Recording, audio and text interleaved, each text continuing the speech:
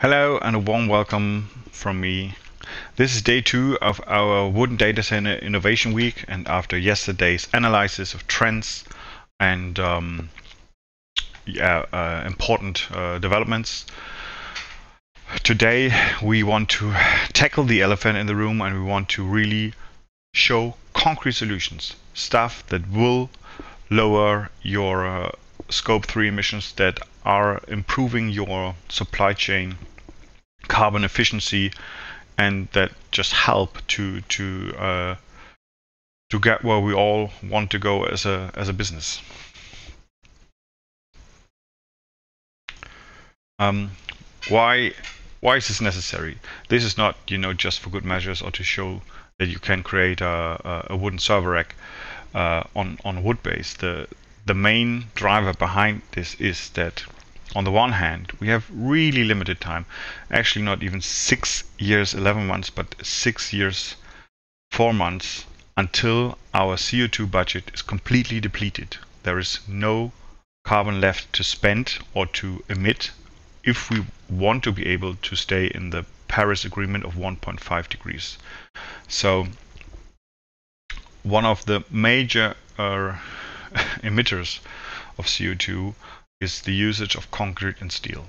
And if we are able in the data center industry to reduce that and to use a material that has much lower um, embodied carbon, like wood, this would be truly beneficial in terms of reaching our goals and avoiding not only climate crisis but an actually human, humanitarian crisis. So we came up with a minimalistic uh, wooden server rack design that reduces 90%, 97% of the steel steel used. The only components left is the actual 19-inch rails, the connection point to the server, which you cannot uh, create as wood. That would mean not not feasible. Uh, but we are also in 2021, so the rack comes with integrated sensor integrated sensors for temperature, humidity and smoke. It is uh, featuring a robust wooden construction which is designed for high loads. How high the loads actually is is uh, under testing. We're testing the prototype as we speak. Um, you can modify the wooden construction to uh, make it fit your needs in terms of cabling and uh, airflow. Uh, the 19 inch version is ready and the 21 inch, the OCP variant is under development.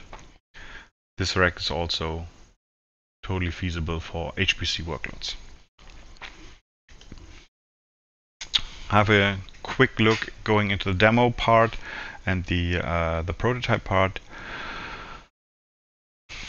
You see here the different stages of development we were able to work together with um, MakerCube. So this, I pull up this design because this actually looks a lot more uh, closer to the prototype we actually built with integrated connections between the wooden parts um, and the rails, you know, screwed into the um, to the to the wooden frame.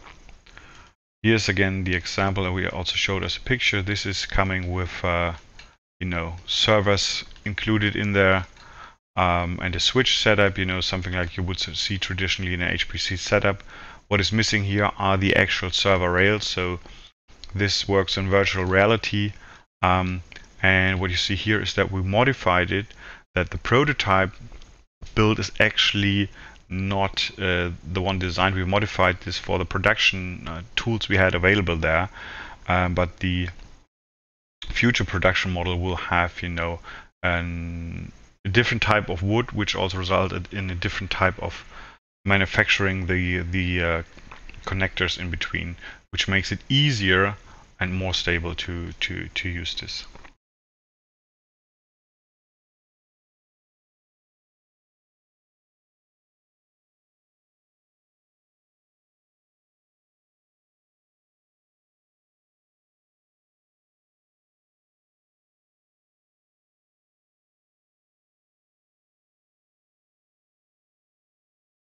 Okay, coming back to to the presentation.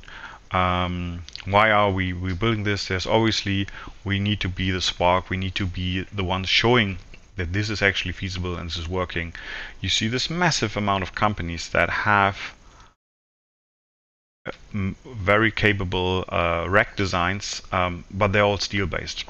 And Schneider Electric has uh, you know addressed the scope 3 issue. They are looking into it, but I believe a lot of people are not really knowing where to start, and I'm, we just are presenting here the kickoff point um, in terms of more sustainable materials.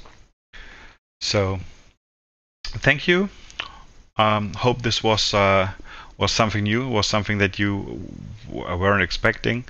Um, we'll keep you updated on our testing results, and we'll we'll take the first orders from now. So uh, reach out, talk to me if you need anything, and uh, goodbye for now.